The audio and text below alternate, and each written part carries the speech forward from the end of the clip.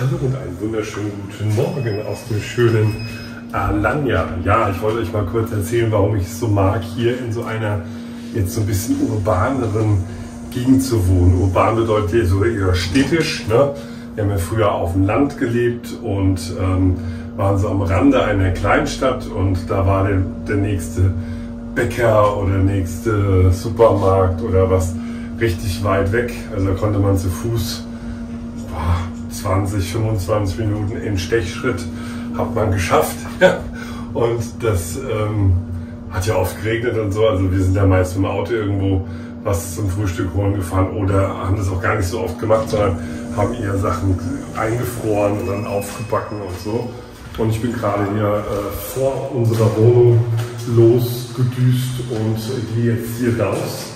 Und wir haben immer noch so die gehobenen 20 Grad. Also ich schätze mal, wir haben jetzt schon wieder so 27 Grad, wird also auf 29 steigen. Und jetzt mache ich mich auf den Weg, ein bisschen was zum Frühstücken holen. Was es hier in der Türkei ja sehr, sehr günstig gibt, ist so Brot. Und das vertrage ich auch sehr, sehr gut. Ich habe da ganz am Anfang mal ein äh, Video drüber gemacht, dass ich das wahnsinnig gut vertrage. Das ist auch relativ günstig. Äh, das kostet so pro Brotleib so, ich glaube, 25 Cent mittlerweile. Ähm, vier türkische Lira im Supermarkt bei diesen kleinen Ständen dieses Hulk Ekmek, das ist dieses Volksbrot, das ist ein bisschen subventioniert oder von, von staatlichen Bäckereien. Das kostet 3 Lira 50, ihr müsst durch 18 teilen, dann habt ihr den Eurokurs gerade und äh, so ein Brot reicht uns eigentlich. Wir essen dann noch viel Gemüse dazu und äh, wir haben gerade Tofu mitgebracht bekommen und ja, Gurken und sowas.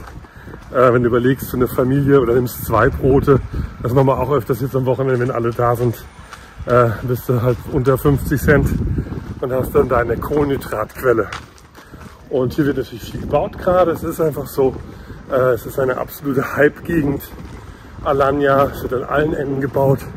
Es fehlen aber auch Wohnungen, also die Leute brauchen Wohnungen und hier wird halt was dafür getan. Ja. Das ist halt das Gute und ja, ähm, Letztes Jahr war ja noch die, das Ende im Prinzip der Pandemie. Da war noch deutlich weniger mit Bauen und da war auch ein paar Jahre fast gar nichts los. Deswegen haben wir auch da noch sehr gute Preise gekriegt für unsere Wohnung. Plus dann die Wohnung, die wir noch in der Aquaresidenz gekauft haben. Plus noch die Wohnung für meine Schwiegereltern. Und haben dann noch echte Schnäppchen gemacht. Die Preise sind so gestiegen, das ist der Wahnsinn. Wir haben ja auch hier, äh, auch in der Nähe, ja auch ein paar Wohnungen in einem neuen Gebäude gekauft, die wir als Investitionsobjekt äh, genommen haben, um die entweder zu vermieten oder wieder zu verkaufen oder einfach für unsere Kinder zu halten. Wir haben ja drei Kinder, können wir jedem davon eine eigene Wohnung geben dann und die können dann später ein bisschen, ja, Privatsphäre haben. Unser Großer ist jetzt, wird jetzt dieses Jahr 16, da könnte der dann quasi mit 18 halt ein paar Straßen weiter ausziehen hätte seine eigene Wohnung. Da hätte der voll Bock drauf hat er uns schon gesagt, kann ich mir eine reservieren? Und so, ja, kannst du. Alles machbar. So, und ich weiß jetzt nicht, wie viele Minuten das waren. Es war nicht weit, ja. Und wir sind jetzt hier an einem, ich kann mal auf die andere Straßenseite gehen, kann natürlich das mal filmen. Ähm, einfach nur um den Block rum. Und da muss gucken, dass ich mich überfahren werde. Und hier ist auch eine Schule schon. Feldschule Otter Okulu. Ich glaube, das ist eine ist das eine Grundschule? Ich glaube schon. Oder ist es eine, eine, Unterschule? Also es gibt ja hier so auch Highschools, Grundschulen, High, äh, normal, Mittelschulen und Highschools. Und hier sieht man jetzt auch, hier ist ein BIM. Das ist so eine Art deutscher, äh, vergleichbar mit dem deutschen Lidl oder Aldi. Dahin ist eine A101. Das ist auch so ein bisschen äh, in die Richtung, äh, wobei die mehr Kosmetiksachen noch haben. Ähm, und dann ist hier noch ein sehr netter kleiner Market der auch frisches Brot hat und da kaufen wir auch öfters mal was. Ähm, der hat auch so ein bisschen Spielsachen und so, gerade wenn man unsere Tochter was will. Und Eis direkt raus, also da kann man sich mal was auf die Schnelle holen. Und das haben wir hier äh, in Laufnähe. Das waren jetzt nur so ein paar ganz kurze Minuten. Und so kann ich jetzt ganz frische Sachen kaufen. Heute ist auch Markttag. Wir werden wahrscheinlich auch wieder auf den Markt gehen und äh, einfach mal gucken. Ne? Ich gehe jetzt mal in BIM. Ich kann euch ja mal ein bisschen mitnehmen, äh, was es da so gibt und äh, mal zeigen, was, was man dazu kaufen kann.